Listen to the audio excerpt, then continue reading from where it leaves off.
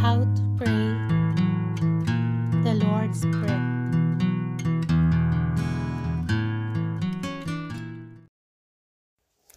Hello, everyone. Before we start, let us first pray to the Holy Spirit and ask for grace of discernment. In the name of the Father, and of the Son, and of the Holy Spirit. Amen. Come, Holy, Spirit, fill, the hearts of your faithful, and, kindle in them the fire of your love. Send forth your Spirit, and they shall be created, and you shall renew the face of the earth.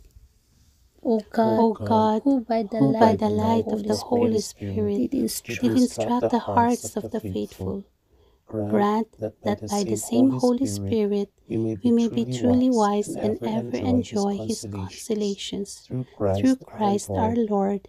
Amen. Name of the Father and of the Son of the Holy Spirit. Jesus said, Peace to you, hierarchs.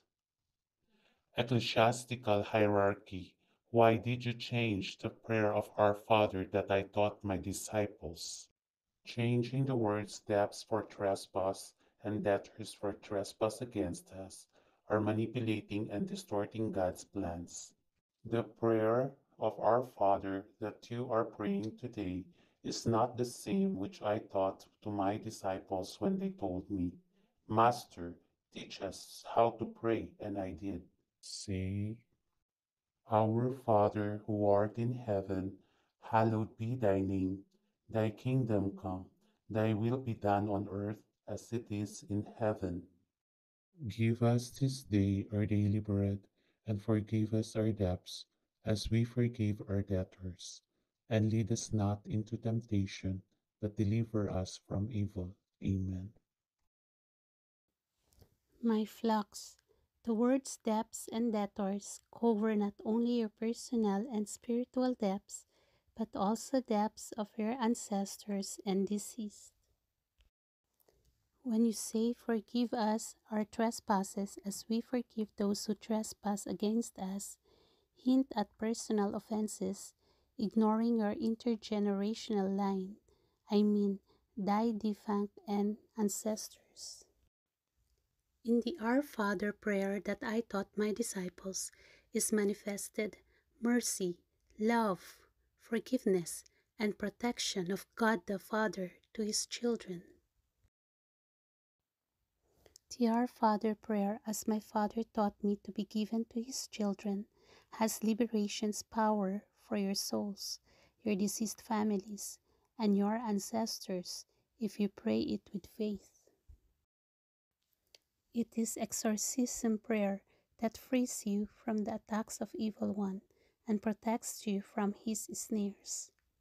It is also prayer life and nourishment for your spirit. It is prayer of provision not only for corporal food, but the most important, the spiritual food that I am. Hierarchs of my church, shepherds of my flock, I ask from my heart to come back to pray the Our Father, as my Father has taught me, because as you are praying and teaching it to my flock, it does not have the same value and spiritual power. To change the word steps for trespasses and debtors for trespass against us is to lose the merciful and liberating action of the Father to his children here on earth, and for the souls of her forefathers and departed into eternity. The Our Father prayer, with the Creed and Magnificat, are powerful prayers and gather the whole plan of salvation that my Father has destined for humankind. Brothers and sisters, I now invite you. Let us pray together the Our Father the way Jesus taught his disciples. In the name of the Father and of the Son and of the Holy Spirit. Amen. Our Father, who art in heaven, hallowed be thy name. Thy kingdom come, thy will be done on earth as it is in heaven. Give us, Give us this day our daily bread, and and forgive us our debts, as we as we forgive forgive our our debtors. debtors. And lead And us lead us not not into into temptation, temptation, but but deliver deliver us us from from evil. evil. Amen. Amen. In the name of the Father, and of the Son, and of the Holy Spirit. Amen. another day, another night. To the most holy Trinity, God the Father, God the Son, God the Holy Spirit, be glory, praise, and thanksgiving now and forever. Amen. Before you go, you might want to watch Father Orbos' video. He's going to talk about four things to remember in life. And brothers and sisters, please like, comment, share, and subscribe. Thank you for the support. Let's grow together spiritually. Four things to remember in life, okay? Para hindi ka masyadong uh, gulong-gulo. Number one, remember this. Money can be earned. Pera lang yan. Kayang makuha yan. Don't burden yourself with money. It's not the most important thing in your life, please. Number two, stupid quarrels can be resolved. Yung quarrel-quarrel na yan, ayusin mo na. Now na. Pag pinatagal mo pa yan, bubuhati mo yan the rest of your life hanggang sa libingan. What for? Useless luggage. Humility. Humility is the key. Number three, the life of a loved one is irreplaceable. You can say anything you want.